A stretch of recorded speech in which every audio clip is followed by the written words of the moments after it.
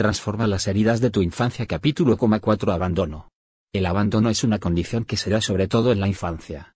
Abandonamos a un niño, a un anciano, a un enfermo, pero no abandonamos a un adulto capaz y lleno de recursos. Unos padres que no proporcionan alimento, protección, afecto, estructura, casa y estabilidad, y permanecen ausentes en este proceso fundamental en un niño, lo abandonan. Un niño necesita padres que lo provean de todo lo necesario para crecer. Elegir ser padre es dar todo, alimentar y formar a un ser que estará desprovisto y será formado en lo que como padre puedas dar. En muchos casos, el tema de la paternidad es inconsciente, solemos reproducirnos como animalitos, con poca conciencia real de la responsabilidad de educar y formar a un nuevo ser. Lo, hacernos por instinto, porque es lo que toca, por la pareja y por muchas razones lejanas a sentirnos listos para dar, amar, enseñar, acompañar a un nuevo ser. Una herida de abandono es una experiencia de soledad infantil, de vacío. Es una ausencia física, emocional y de aprendizaje. Esa ausencia genera una enorme angustia en el niño. Lo vive como una experiencia aterradora de soledad, miedo y desprotección. Abandonamos cuando no ofrecemos las condiciones para que un niño sienta protección y afecto de un adulto. Abandonamos cuando somos padres niños, no damos protección ni estructura a los pequeños. Abandonamos cuando no les damos tiempo para jugar, acariciar, mirarlos a los ojos y hablar su lenguaje. Abandonamos cuando no les ponemos límites ni estructura y dejamos que crezcan como quieran. Abandonamos cuando no comprendemos que son niños y debemos darles afecto, sentido de pertenencia y estructura emocional para crecer aptos para la vida. Muchos crecimos con padres bien intencionados, pero ignorantes de lo que necesitamos. Esto puede generar un dolor de abandono en nosotros e incapacitarnos para crecer y alcanzar la autonomía. Personalidad herida de abandono. Un adulto que, vivió en el abandono crece físicamente pero en lo emocional queda atado a un sentimiento de soledad y vacío. La ausencia de los padres siembra un vacío muy fuerte en su interior y una posición de víctima. Es un niño de mirada triste, desprotegido e incapaz de hacerse cargo de sí. El niño se quedó atrapado en su cuerpo de adulto, con todas las necesidades inconclusas. Hoy se ve claramente en su mirada, en sus sentimientos de tristeza y en su visión de víctima de la vida. La persona que tiene herida de abandono considera que los demás no la quieren, padece el síndrome del mal querido, en el que todo es interpretado y traducido desde la óptica de ese niño solo, que no fue valorado ni importante para sus padres. Tiene un sentimiento de tristeza permanente y suele establecer relaciones de apego y dependencia, siente que debe complacer, ser lo que esperan los otros, no decir lo que piensa, ni poner límites, hace todo menos caer en el riesgo de ser abandonado de nuevo. Tiene dificultades para sentirse cómodo con la autoridad, las personas que representan una autoridad como jefe, líder, sacerdote, etc., lo hacen temeroso, con dificultad para relacionarse como adulto. Suele depender mucho de sus relaciones, no sabe cerrar ciclos. Terminar y despedir son actos que lo conducen a un dolor primario que vive como niño, no como adulto. Son experiencias de mucho dolor porque pierde toda la fuerza y depende profundamente de sus apegos. Entonces, cuando las relaciones terminan, pasa por periodos de muchísimo dolor, no sabe salir de los duelos. Prefiere humillarse, evadirlos, finales antes de volver a experimentar el dolor del niño interior abandonado. La herida de abandono provoca una necesidad de hacerse uno con el otro.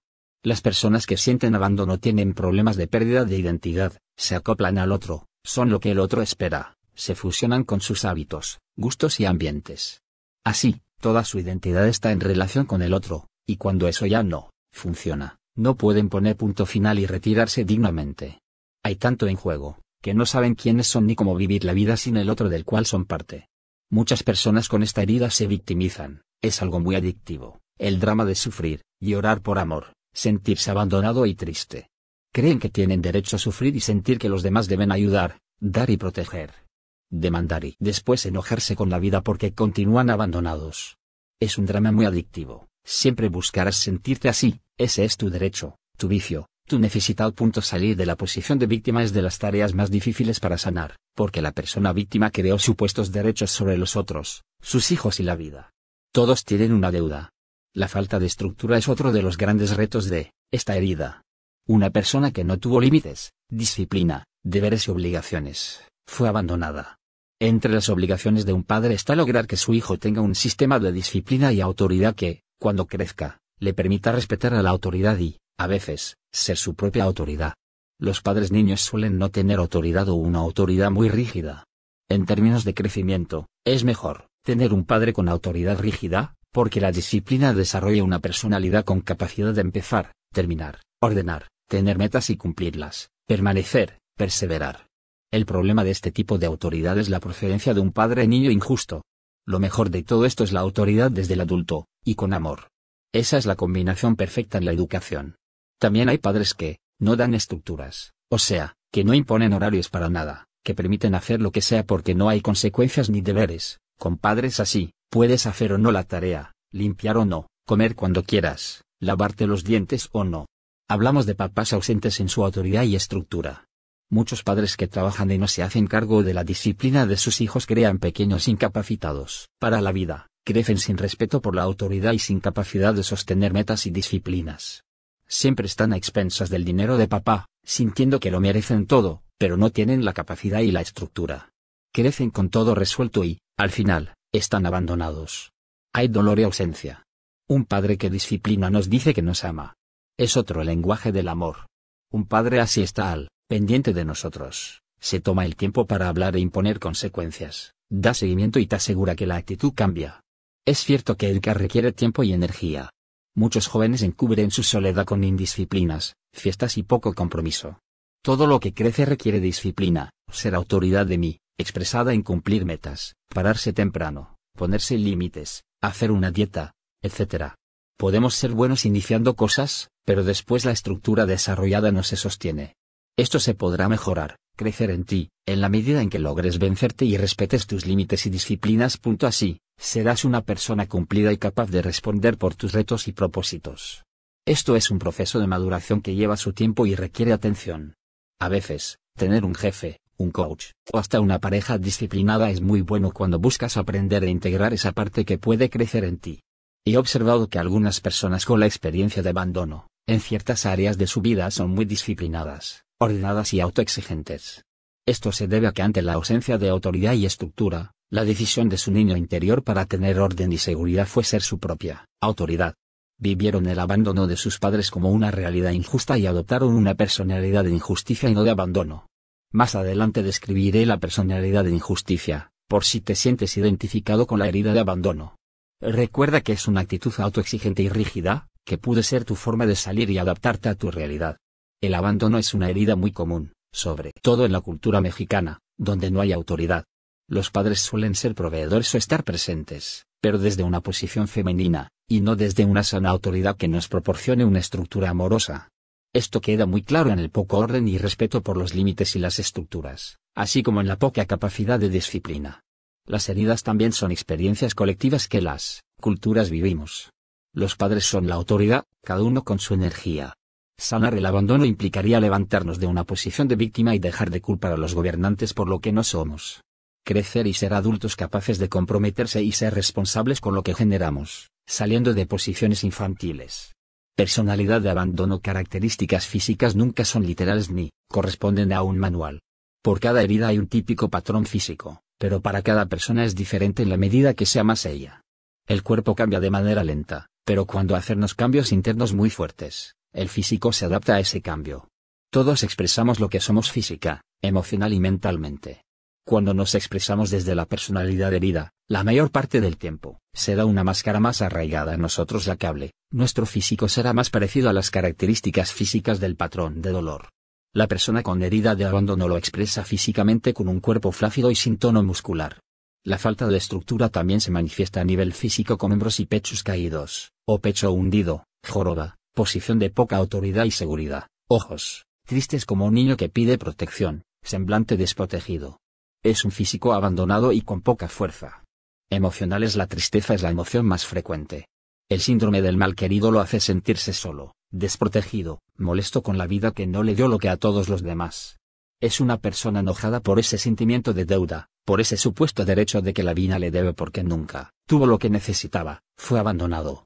Eso lo hace colérico e irascible, una persona que reacciona con actitudes fuera de control, como los celos frecuentes, los berrinches o modos de ver la vida como problema muy complicado e irresoluble. Es manipuladora y experta en hacer sentir a los otros responsables de ella. Suele pasar facturas inconscientes por todo lo que hace, generando deudas en las personas a su alrededor y asegurándose de que dependan de ella lo más posible porque también así controla.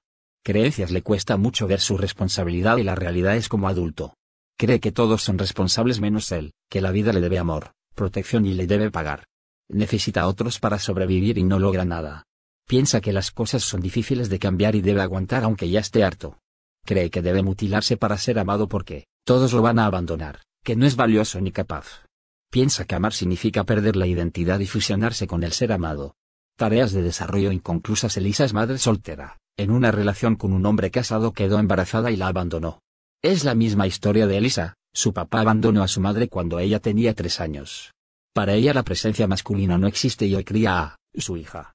Es una mujer que trabaja mucho para sacar a su hija adelante, pero no está con ella pues trabaja todo el día, su madre se hace cargo de su hija. Pasa los días quejándose por dinero, por los hombres casi siempre casados, con la vida tan dura que le tocó vivir. Elisa no se da cuenta de que todas las elecciones construyen la realidad que vive, desde hombres casados, hasta la autoestima y respeto por ella, que hoy transmite a su hija, hablándole mal de los hombres y quejándose de ser usada y abandonada por ellos. Elisa reproduce las tareas inconclusas con sus padres, lo que aprendió de sí. El derecho a ser importante, protegida, respetada, sentirse confiada en crecer y tener lo que ella necesita, acompañada y respaldada. Las creencias aprendidas de falta de protección, presencia, amorosa y cuidados, hacen que veamos el mundo sin esos nutrientes. Ella los anhela y los desea más que nada en este mundo, pero no están dentro de ella. Se siente una persona menos valiosa que las demás por ser hija de un alcohólico y por todas las carencias de su infancia. Ella no se siente orgullosa de sí. Está deprimida por la vida que le tocó, sin darse cuenta de que todo lo eligió. La primera, que se abandona es Elisa, abandona a su hija perdiendo la oportunidad de darle una vida diferente y sanar a su propia niña interior por medio de su hija. Elisa se abandona cuando permite que la usen y no pone límites de respeto con los hombres. Elisa se abandona cuando no va al médico. No se da espacios, no cuida su salud, vive en un abandono crónico y así le enseña a su hija que la vida se padece, que ella la sustituirá en la carrera de la vida. ¿Cómo haría Elisa para dejar de ser gobernada por la personalidad herida? Lo que le fue negado el derecho a ser valiosa, a sentirse segura y protegida por un adulto, a crecer con confianza de que si se cae, ahí estará papá para levantarla, a respetar sus necesidades, a separarse con la confianza de que tendrá respaldo. También le fue negado, el derecho a una presencia adulta que le dé límites, estructura, confianza y afecto para crecer, sabiéndose valiosa y capaz para la vida. Elisa puede salir de ese círculo donde parece estar atrapada, en la medida en que se mire, en que se perdone por reproducir los lazos de dolor y lo que ha hecho para ser amada. Elisa necesita creer que es capaz de cambiar su realidad y mirar sus necesidades, aprendiendo a llenarlas con respeto y conciencia. En la medida que deje de abandonarse como lo hicieron sus padres, se mandará un mensaje muy distinto. Necesita restablecer al padre perdido, ausente que le negó la posibilidad de límites, estructura y responsabilidad. Es fundamental poner a ella y a los otros límites de respeto. Restablecer al padre perdido es darse protección, compromiso, respeto, por sus necesidades, acompañamiento en sus proyectos. Las palabras clave para Elisa es darse el derecho a ser valiosa y comprometerse consigo, responsabilizándose de las realidades que construye. Esa es la mayor tarea de desarrollo para equilibrar la personalidad abandonada y no abandonarse a ella misma. Permiso sanador, permiso a crecer y dejar de ser niña arroba el intento desesperado de encontrar el amor, de que llegue a tu vida esa persona que no te abandonará y se comprometa, no resolverá el problema de fondo. Buda decía, somos lo que pensamos y con nuestros pensamientos construimos la realidad. Una persona que piensa que es poco valiosa, que no merece ser querida y se rechaza, aunque llegue alguien que la ame, ella tendrá actitudes negativas que enseñarán al otro cómo debe ser tratada. En la dinámica de todos los días transmite ese poco respeto a ella y esa falta de compromiso con su bienestar hasta que el otro termina viéndola como ella se ve. Nosotros enseñamos a las personas que nos rodean cómo tratarnos, con los límites, la comunicación, la manera en que nos respetamos y respetamos a los otros. No tenemos cómo recibir lo que no está en nosotros.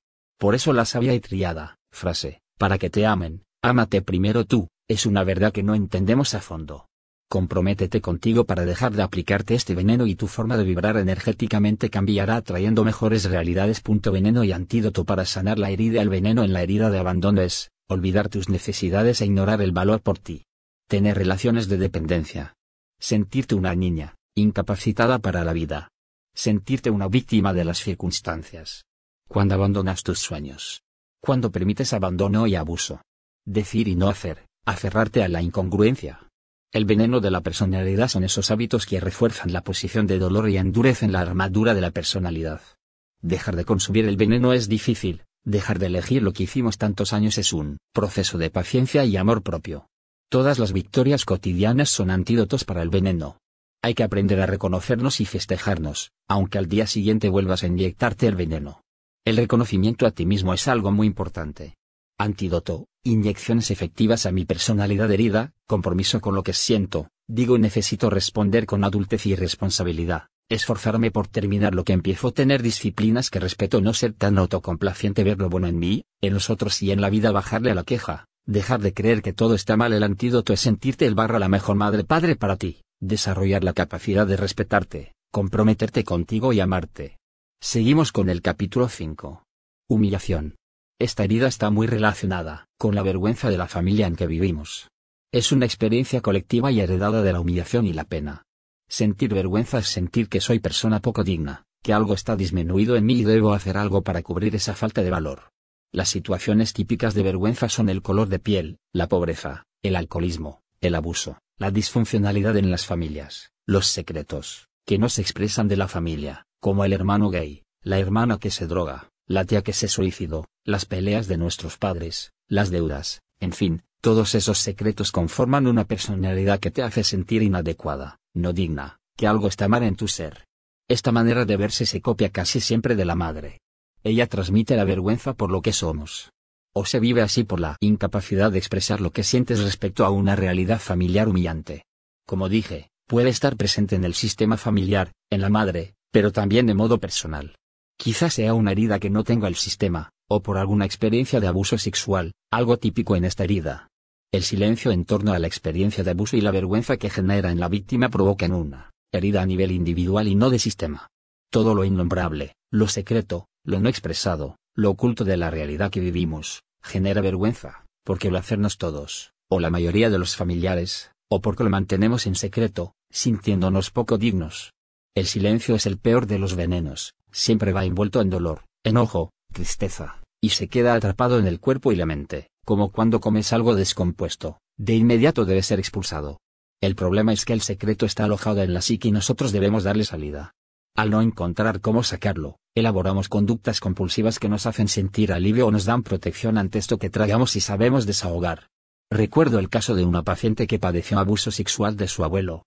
Ella vivía con sus abuelos y él por las noches se acostaba en su cama, acariciaba sus genitales y sus pechos. A la mañana siguiente no podía ver a los ojos a su abuela, sentía que era responsable, desleal a ella, la que la cuidaba y alimentaba, como si fuera su madre. Esa situación duró muchos años. La enorme vergüenza creció reflejándose en su cuerpo obeso, que no cambió hasta que sacó del alma este dolor. El trabajo de psicoterapia le ayudó a expresar su ira, su enojo, su vergüenza. De manera paulatina, su obesidad se convirtió en sobrepeso, hasta dejar los hábitos que encubrían su vergüenza. Toda herida encierra un dolor y solo puede curarlo un psicoterapeuta. Cuando curamos el dolor de la herida, hay que desaprender los malos hábitos que encubrían ese dolor. Al sacarlo es mucho más fácil cambiarlos, hábitos porque ya no encubren dolor, solo quedan como cascarones que requieren tiempo y energía para cambiar, pero no son defensas vivas, lucha constante entre las fantasías de desprotección y la necesidad de cambio. El silencio siempre consume energía, la vergüenza siempre debe ser encubierta. Personalidad herida de humillación La persona que la desarrolla, por un lado siempre encubre algo y, por el otro, se siente una mala persona, por lo que oculta. Tiene una personalidad complaciente, generosa y busca ser aceptada y agradable a toda costa. Es como una mamá o un papá protector con sus amigos y familiares. Resuelve problemas, escucha a los demás, pone su atención en todo lo que los demás necesitan y es capaz de hacer cualquier cosa por sus amigos, aunque esto le genere un conflicto de valores, de tiempo, dinero y esfuerzo, para ella. No nos confundamos, él o ella no es la Madre Teresa de Calcuta, en realidad es una persona con actitudes compulsivas de complacencia para ocultar el sentimiento de falta de valor de sí o la vergüenza de ser ella. Es el pago para ser aceptada por todos, porque ella se rechaza. Además, las acciones que realiza por los otros siempre esperan una recompensa que tiene que ver con hacer lo que quiere, seas lo que espera. Vive en un estrés constante por resolver, cuidar y cargar los problemas de todos, a la manera de una ambulancia. Si alguien tiene algún problema, aunque no se lo pidan, buscará cómo resolverlo. De manera automática, su mente, como cazadora de problemas, no se cuestiona sino que centra toda su atención en los otros, está dispuesta a resolver y así ganar a precio. La codependencia hacia la persona incapaz de mirar sus necesidades. Sufre un abandono muy significativo, por lo que desarrolla una herida conjunta que es la de abandono. La persona que tiene la herida de humillación también presenta la de abandono por el sentimiento de poca valía personal por la humillación. Otro aspecto de esta personalidad es el desarrollo de hábitos masoquistas. En esta incapacidad de mirarse y cuidarse, se desconecta de sus necesidades y encuentra una forma de infligirse un dolor que le da cierto placer. Cuando no estamos orgullosos de nosotros, nos sentimos indignos y culpables, tendemos hacia la actitud de hacernos pagar. Es un rechazo hacia uno que hace sentir placer al castigarnos y creer que lo merecernos por ser una persona indigna. Pienso en los curas que, al sentirse indignos, se daban latigazos para castigarse. Al estilo de estos curas, la persona enferma de humillación se castiga y encuentra, como todo masoquista, dolor en el placer. El autocastigo puede estar detrás de hábitos como fumar, aguantarse para tomar agua para hacer pipí, no ir al doctor, soportar relaciones de abuso, pagar las cuentas de otro, comer como desesperado, tener sexo, doloroso, ser el payasito de la fiesta, en fin, ¿dónde está tu autocastigo? La relación con su madre suele ser de atadura y poca libertad. La siente como un peso, una responsabilidad, alguien que condiciona su serie a la cual debe complacer, cumplir sus expectativas. Cuando una madre tiene mucha vergüenza, transmite esa información a sus hijos por medio de hábitos de alimentación poco sanos. Define poco valiosos a sus hijos, siente vergüenza por ellos. Esa información llega a ellos, quienes, inevitablemente, se enfermarán de vergüenza. Pueden encontrarse en una típica familia de obesos, solitarios, solteros y controlados unos por otros, sintiéndose poco dignos, como su madre los veía desde su vergüenza. Recuerda que la personalidad herida se forma cuando las realidades dolorosas están presentes de modo constante hasta que se asientan. Si alguna vez te sentiste muy avergonzado, quizás instale una memoria de vergüenza, sin que esto afecte por completo tu personalidad. La sexualidad es un área de prejuicios y puede llevar al masoquismo, a vivir el sexo como algo malo, sucio o vergonzante. También puede hacerte sentir culpable por sentir placer, por ser acariciado. Muchas personas, con esta herida relacionan la sexualidad con lo malo, lo sucio, el abuso. La herida de humillación características físicas un cuerpo graso, sobrepeso en vientre, espalda y abdomen. La combinación con la herida de abandono hace un cuerpo regordete, con partes flácidas y caídas. La cara redonda y la mirada de niño. Cuello grueso, espalda ancha y jorobada. Padecen mucho dolor de espalda por el peso, que cargan. Recuerda que las características físicas suelen cambiar según qué tanto vivas desde la personalidad herida y qué tan fuerte seas en tu día a día. No obstante, todo se expresa en tu cuerpo. Emocionales se responsabiliza de las personas y vive mucho en la culpa.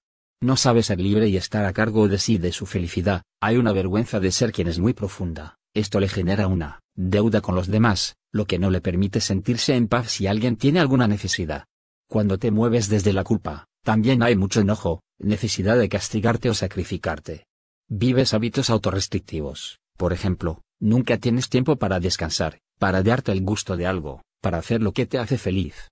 Vives siempre en el deber, resolviendo cosas de quien las necesita. Experimentas mucho abuso por todo lo que permites, lo cual también te hace vivir en la tristeza y el desamor. Sueles tener vínculos con mujeres, a las que atraes de manera inconsciente, como una forma de control.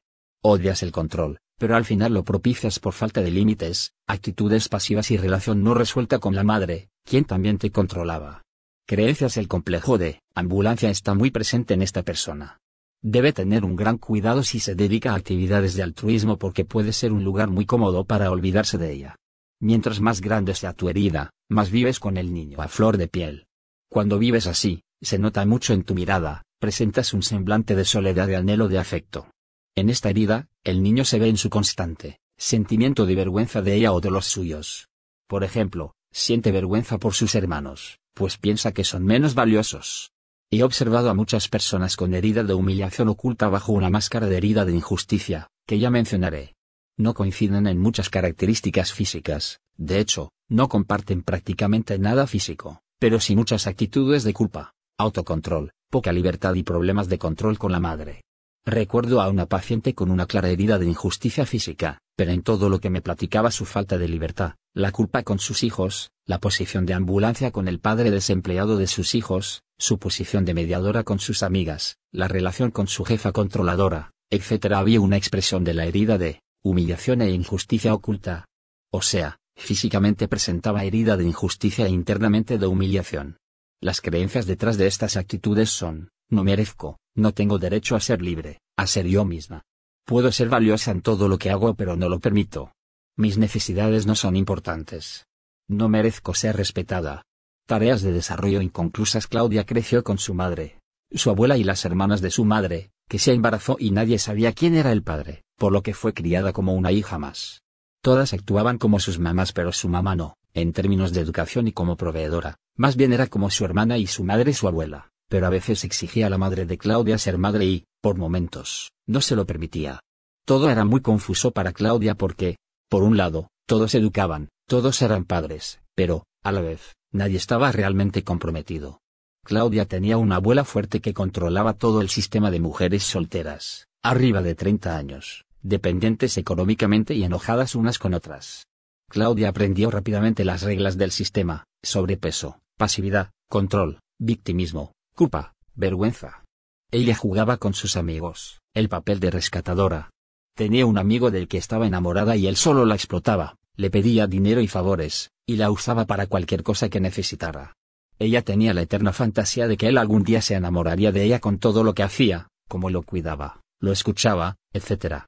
Al final, resultó una historia conocida para Claudia, pues ya había vivido muchas relaciones de ese tipo con hombres que la usaban y al final la abandonaban. Con ello repetía la misma historia de dolor y abandono de su padre, por un lado, y de humillación con todo el sistema familiar de la madre, por el otro. ¿Cómo podría Claudia sanar la humillación y empezar a ser ella? Le fue negado el derecho a tener un padre y una madre que se hicieran cargo de ella, que se comprometieran con su educación. Le fue negado el derecho a sentirse importante, tener un lugar dentro de la familia, vivir con orden y estructura de hogar. Claudia heredó la vergüenza de la abuela que le transmitió a sus hijas y, a la vez, aceptó una alianza con los hombres que no se comprometen, están ausentes y donde las necesidades de afecto nunca se llenan. Esa es una vergüenza del sistema. La abuela estaba muy enojada con los hombres, ya que había sido abusada sexualmente por su abuelo, en su infancia, y abandonada por su padre. Nunca se sintió valiosa, respetada y por tanto odiaba a los hombres. Se casó con un hombre siempre ausente y frágil que murió joven y la dejó sola con todas sus hijas pequeñas. Esto era transmitido a todas, parecía que no había hombres para los que fueran valiosas.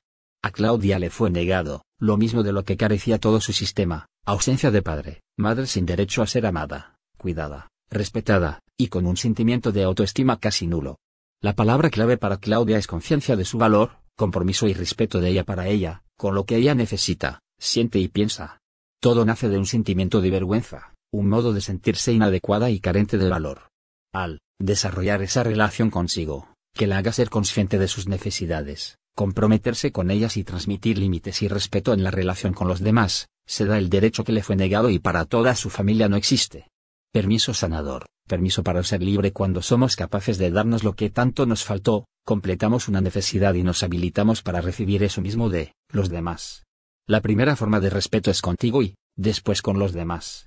Podemos construir vínculos afectuosos y respetuosos que nos den un lugar, que nos provean de afecto y sana pertenencia, y nos traten con respeto. Sanamos también en cuanto a relaciones, pero primero en lo individual. Cuando iniciamos con nosotros, nos capacitamos para recibir, cuando no lo hacemos, carecemos de capacidad para retener lo que otros nos ofrecen. Cuando establecemos alianzas con el sistema familiar, salir de esos hábitos es un reto mucho más fuerte. Es muy importante tener paciencia, salir de la posición de víctima y construir poco a poco, en la relación contigo y el trato con los demás, el respeto y el valor. No tengas miedo a no pertenecer a tu sistema. Salir del patrón a veces nos hace sentir que ya no somos parte de ellos, pero hazlo por ti, por todo tu sistema, porque en la medida que salgas de ese patrón, cambiarás los modelos de todos los que vienen detrás de ti. Veneno y antídoto para sanar la herida. El veneno de tu personalidad es, ignorar tus necesidades, hacer por otros lo que no eres capaz de hacer por ti, no poner límites y permitir abusos, sentirte una víctima de los demás sin hacerte responsable de lo que permites ayudar a los demás a costa de ti, criticarte, humillarte y compararte, estar atrapado en tus actividades, tus posiciones pasivas de aguantar y aguantar el antídoto de tu personalidad, generar espacios para disfrutar en libertad, aprender a escuchar y respetar tu cuerpo, ir al doctor, cuidar tu salud, enfocar lo valioso de ti y sentir orgullo por esto, ponerte límites y a los otros crear relaciones adultas en libertad. En todas las heridas, lo negado es el afecto, la pertenencia, el compromiso, la seguridad. Todas las heridas son hijas de la ignorancia, la falta de conciencia y el amor. Las tareas de desarrollo son tareas de amor y compromiso contigo. Cada una de las heridas genera distintos comportamientos ante el desamor y tiene tareas de desarrollo diferentes, aunque el objetivo sea construir ese afecto, identidad y pertenencia que tanto te faltó para desarrollar autoestima. Al final estoy convencida de que todo es evolución. Heráclito afirmó que el conflicto entre los opuestos es la base de toda existencia. El conflicto de vencer lo conocido, sanar las heridas, librar una batalla con nuestros miedos, ese conflicto que para nadie es fácil, será la base de la existencia. Al sanar las heridas no, reparamos un error, somos partícipes de la evolución, del movimiento y del crecimiento común a todos, aunque no todos estemos enterados. Todo es perfecto si lleva el objetivo de crecer, aprender y evolucionar. Nuestros padres dieron lo que tenían. En esta herida, algo muy importante es aprender a ganar el orgullo familiar, cuando te avergüenza tu madre, padre o familia en general, no hay posibilidad de sanar. Una tarea de desarrollo del sistema es dejar de crear vergüenza y trabajar para recuperar la herencia positiva. Siempre hay esfuerzos que no se contemplan ni se valoran en todos los integrantes del sistema. Uno no puede curarlos pero sí curarse así, con ello, abrir